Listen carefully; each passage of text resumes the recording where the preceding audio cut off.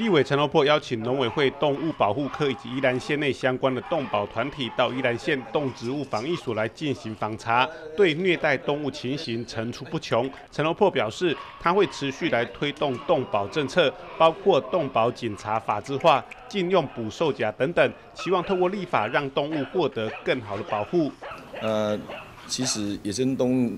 保育法一直演变到最后，现在的动物保护法，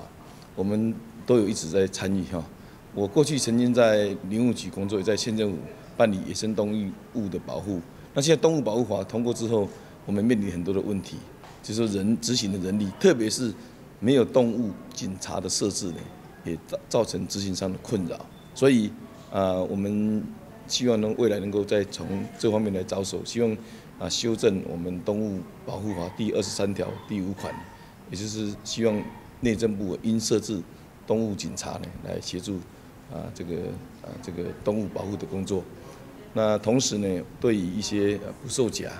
或者是一些虐待啊动物的相关的啊刑责方面跟处分方面呢，我们应该加重其刑。这个也是未来努力的方向。而对流浪动物的收容，陈罗珀也表示，他一直认为爱护流浪动物不分党派立场，一起共同为毛小孩来争取生存权以及动物福利，唯有携手合作，才能让毛小孩的议题得到改善及重视。宜兰新闻记者史世明采访报道。